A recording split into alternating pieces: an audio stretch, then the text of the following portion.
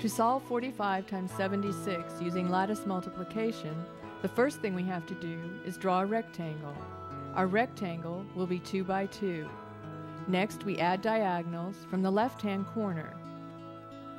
That done, we record our problem, 45 times 76. Now we can multiply. 5 times 7 equals 35. 5 times 6 equals 30. 4 times 7 equals 28.